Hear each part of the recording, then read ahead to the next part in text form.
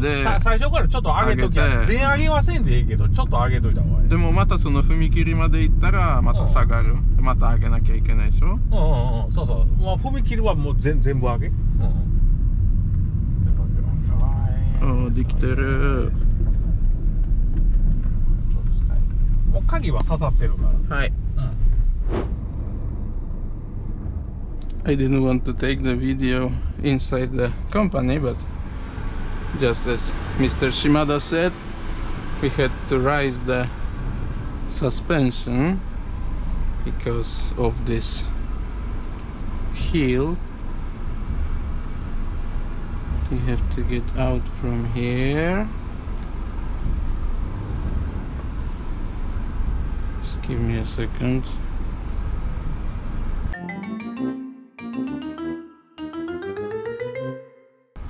Okay and there will be uh, the railway. We will have to pass through the railway where the uh, trains are passing. And it's quite an uneven ground. So with the tracks like this one customized with the arrow uh, on the sides and uh, you know they are lowered and they have some underbars and some attachments uh, that make them closer to the ground. We have to raise the suspension quite a bit. Okay here we are. Let's raise the front and the back of the truck as much as possible. And really with trucks like this you have to think about the truck the most you need to you know if you have to stop and raise the suspension you have to stop and raise the suspension and do not care about other people too much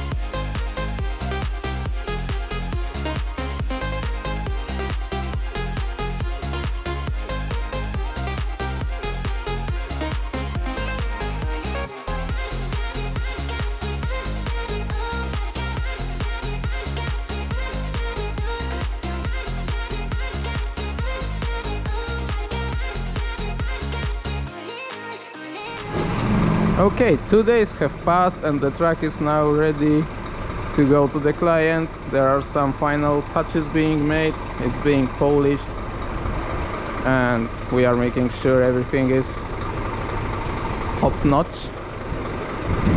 Tomorrow at 3 a.m. I will get from here, start from here and go to Saitama Prefecture. So see you in the morning.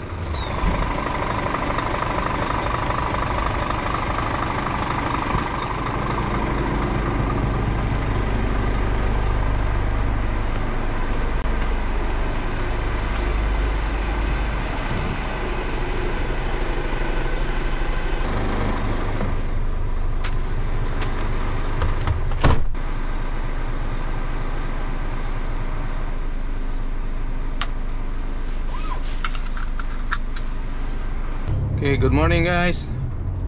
It's 3 a.m. and we start our drive about 600 kilometers to go. In 300 meters, turn right. It looks cool, doesn't it? The Scania logo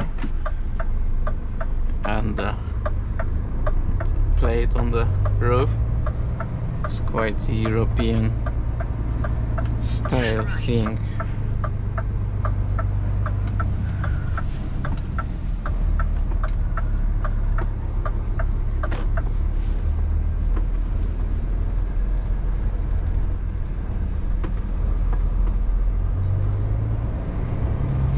also the number plate has all the digits and the letters blinking. I mean it has an LED plate underneath the number plate and the number plate is made in such a way that you can see through on the letters and on the digits on the numbers. It's actually an option at the uh, transport office where you get the number plates. If you pay like it's like a hundred bucks in, in US dollars I guess. And you can get the that kind of number plates. But then I think you have to buy the plate behind it the, the one that shines separately. So yeah it, it costs a little bit more but in a truck like this or in the modern somehow uh, customized cars also it's it's a nice touch especially at night. It looks kind of cool and futuristic I guess and today also at first we are going to the transport office transport bureau. I don't know how you call it in English. Uh, well the place where you register the vehicles and you get your number plates and this kind of stuff. We first have to go there and change the owner of the truck to the client. And after we do that uh, we will take the truck to the client.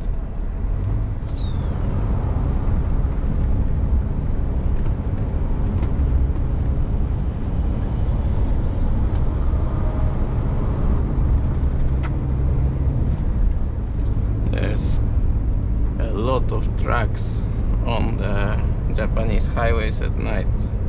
From what I've heard it's that most of the truckers in Japan actually drive at night and they sleep in the daytime and they also load the goods at, in the daytime. And it's quite a tough life from what I'm hearing. I myself have never been a truck driver in uh, in Japan never carried any goods for a living.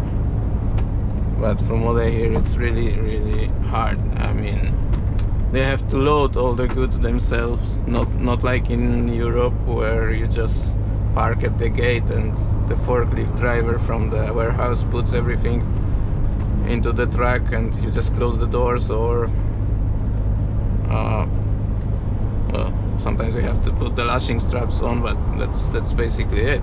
And here they load everything themselves and they only earn money when they drive so it sometimes takes like five hours to just load the goods and they are not being paid for it in most cases. And the goods are often not on the pallets but it's just a box by a box. They have to put it in with their hands and then unload it at the next location. Yeah and you drive at night and you sleep in the daytime and it's really hot in Japan so and the tracks are quite narrow. It's not like this Scania you have. The, beds are more narrow and sometimes the bed is on the top not not behind the seats but over the seats. So there is quite a lot of drivers in the hurry driving a little like crazy. Uh, but I don't want to judge them because the environment well pretty much forces you to do these actions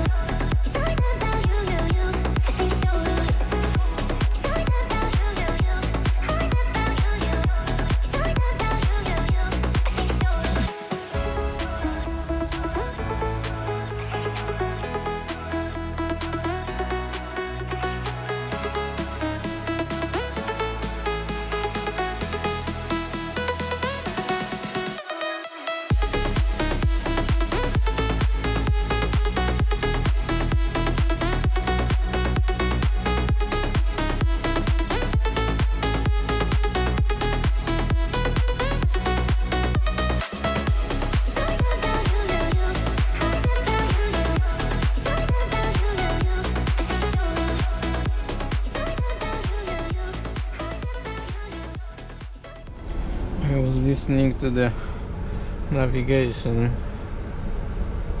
And there is one road on the top the highway and there is one up to here there was one road on the bottom under the highway. So I didn't really know which one does the Google mean. And I went straight and now I have to make a U-turn and go back. Jesus this is the hardest country to drive I've been to. I've been driving in India, in Thailand, and there it's also crazy, but there is just no rules. So you go like you want, and the big one is has the priority, has is can go first. But here there are a lot of rules, and it's even harder to understand.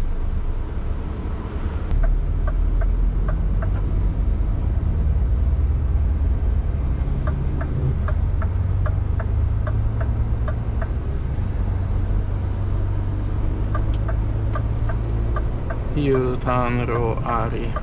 Slide right. It means that we can make a U-turn here and actually this is what this route is for which just saved my ass now